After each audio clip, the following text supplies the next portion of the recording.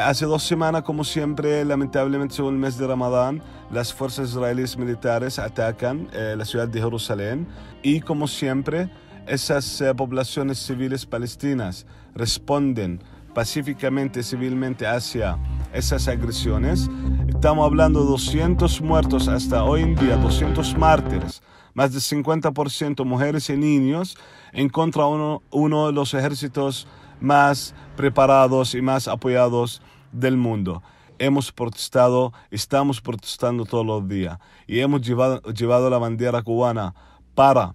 confirmar la imagen de que no puede ser médico no ser revolucionario. Nosotros, la población palestina, la población civil, la población progresista de ese pueblo, llamamos a toda la comunidad internacional, a, a la comunidad progresista de este mundo, a nuestra Cuba revolucionaria, de que tenemos que alzar nuestra voz en contra de ese régimen militar, en contra de ese régimen imperial,